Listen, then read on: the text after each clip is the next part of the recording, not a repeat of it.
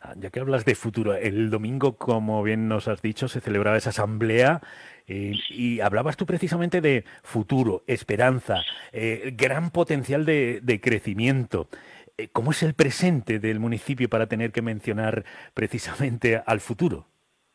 Pues bien, la verdad es que tenemos una realidad que es la despoblación. Sejín está perdiendo población a un ritmo bastante acelerado.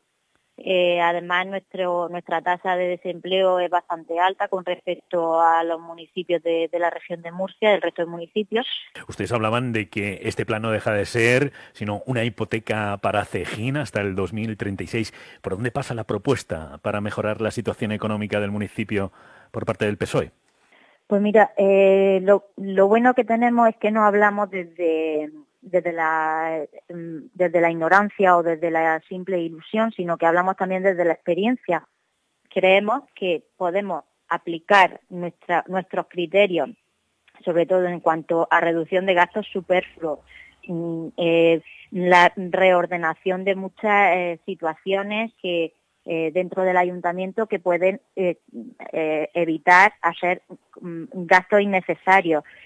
y sobre todo con esa, eh, esa máxima de no pedir a la gente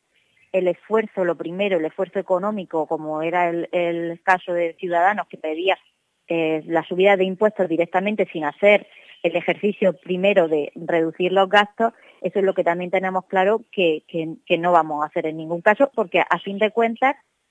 no tienen por qué todo el mundo acabar pagando la mala gestión de, eh, de, sus políticos y la, forma de, gestionar el dinero que haya hecho que nuestro ayuntamiento pues a día de hoy esté endeudado hasta no hasta 2036 sino hasta 2050 y por supuesto trabajar en las posibilidades más futuras porque a más a corto plazo son un poco inalcanzables pero sí más a medio y largo plazo como es conseguir que Cejín pues pueda volver a tener eh, auge a nivel eh, de, empresas, de empleo y por tanto volver a atraer a, aquella gente que se quiera volver a su municipio y evitar sobre todo que se vaya que se vaya la gente que ya que ya está aquí.